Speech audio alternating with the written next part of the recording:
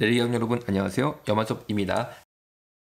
낙태 장녀 서적이 출판됐는데 다시 낙태 반대 서적이 아닙니다. 낙태 장녀 서적이 출판됐는데 문제가 뭐냐? 이 책을 세상에 내놓은 사람 주도적인 인물 3명이 번역을 해서 내놓았는데 이 3명 모두 현재 신학교 교수라는 거죠. 목사님들이에요. 책 제목은 몸의 선택입니다. 내용은 이렇습니다. 기독교 내에서 공유되는 임신 중지는 부도덕하다. 는 종교적 신념 때문에 임신 중지를 결정한 여성은 강도 높은 비난을 받아야만 했다. 이거 벌써 말이 이상한 거죠. 기독교 내에서 공유되는 임신 중지는 부도덕하다는 것이 종교적 신념 때문에 그렇게 된 게 아니고 성경에 비추어 보아서 복음적으로 볼 때 그렇다라는 거죠. 그런데 마치 이 저자는 임신 중지가 부도덕하다라는 것은 과도한 혹은 이상한 종교적 신념 때문에 그러는 것이다. 이런 주장을 하고 있어요.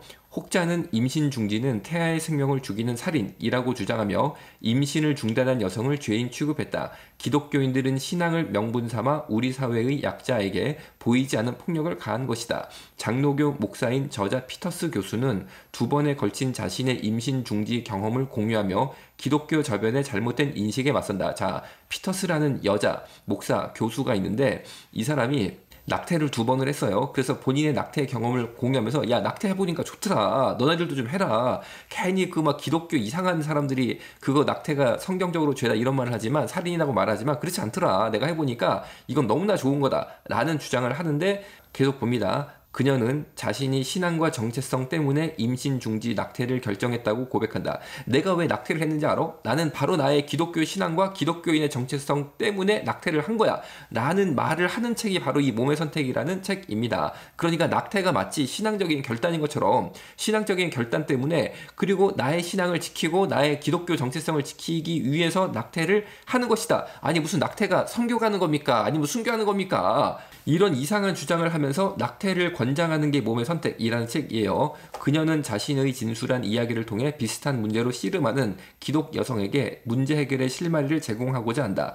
그녀는 임신 중지라는 주제가 계급적 요인들과 연동되어 있다고 주장. 이 저자가 좀 특이한 사람이다. 임신 중지가 계급적 요인, 마르크스주의 사상이죠. 공산주의, 공산주의적인 주장을 하고 있어요. 즉 임신 중지라는 게 계급적 요인, 계급 투쟁과 연관이 돼 있기 때문에 임신 중지를 하지 말라고 하는 사람들은 유산 계급, 지배층 계급이고 임신 중지를 하는 사람들은 프로레타리아 억압받는 민중이기 때문에 민중 해방을 위해서 낙태를 해야 된다. 이런 희한한 정치적 주장을 하고 있어서 제가 볼 때 이 책은 공산주의 사상을 기독교 낙태 주제로 강제로 씌워버린 공산주의 정치 서적이다라는 의견을 저는 가지고 있어요.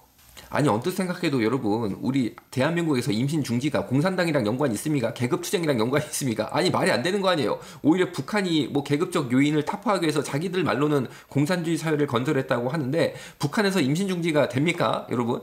아니 여러분 이게 무슨 말이야? 이게 자본주의든 공산주의든 상관없이 임신 중지는 도덕적인 결정 혹은 종교적인 결정에 따라서 이루어지고 있죠. 대한민국이 무슨 계급적 요인이랑 연관이 돼 있어가지고 자본가가 노동자 계급을 착취할 목적으로 임신 중지를 뭐 강요한다든지 혹은 못하겠다든지 그런 게 있습니까? 그런데 희한하게 공산주의에 확 뒤집힌 사람들은요, 뭐를 봐도 다 이런 식으로 계급투쟁으로 이해를 하더라고요. 제가 볼 때 이것은 이단에 빠진 거랑 굉장히 유사하게 보입니다. 제 의견은 그렇다는 거예요.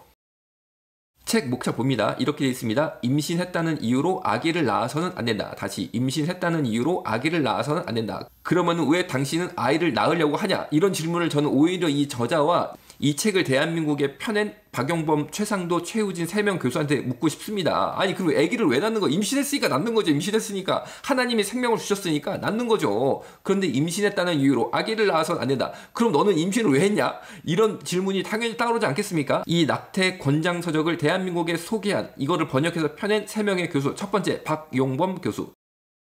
이 사람은 호남 신학대학교에서 기독교 윤리를 가르치고 있고 장로회 신학대학교 출신의 목회자 목사예요. 그리고 최상도 교수, 이 사람도 호남신학대학교 교회사 교수로 장로회 신학대학교를 졸업한 사람입니다.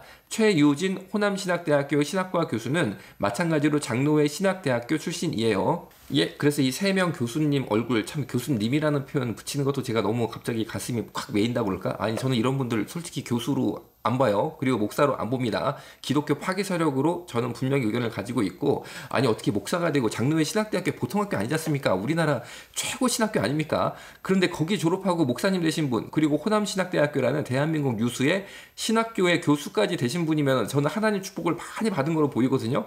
그런데 어떻게 낙태를 권장하는 아니 그리고 무슨 야 이런 책을 우리나라에 소개를 하겠다라고 이렇게 합니까? 저 정말 저는 아이고 저는 제 양심상 허용이 안 되니까 예, 다시 한번 살펴봅니다. 박용범 교수, 장로회 신학대학교 출신 목사로서 호남 신학대학교에서 기독교 윤리 가르치고 있는데, 아, 정말 기독교 윤리 가르치는 분이 낙태를 하라고 이렇게 권장을 하다니 정말 아. 최상도 호남신학대학교 교회사 교수로서 장로회 신학대학교 출신이고 이분은 한국 에큐메니칼 연구원 신임 원장으로 위촉된 분인데 한국 에큐메니칼 연구원의 이사장은 유명하신 일산의 정성진 목사님이에요. 그리고 최우진 호남신학대학교 신학과 교수 장로회 신학대학교 출신입니다.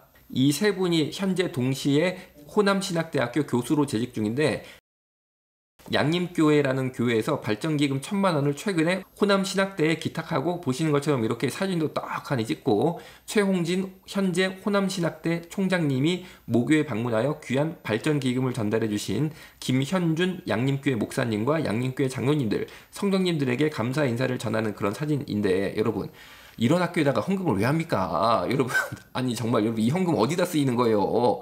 여러분, 정말, 물론 이 학교가 이런 문제를 다 해결을 하시고, 그리고 바른 길을 가면 헌금도 되죠. 그런데 지금 이런 상태에서는 저는 호남신학대학교에 만 원도 헌금하면 안 된다고 생각합니다. 여러분. 아니, 그 헌금이 한국교회를 해치는데 쓰여질 것 같으면 우리가 헌금을 왜 합니까? 한국교회를 세우는데 그 헌금이 쓰여져야 되는 거죠. 오늘 여기서 마치겠습니다. 감사합니다.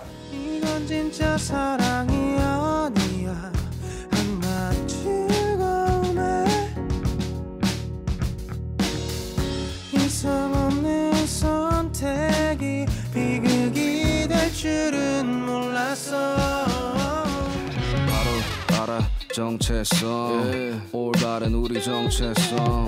업기로도 바꿀 수 없어. Nature never ever. change 바로 알아. 정체성. 건강한 성 정체성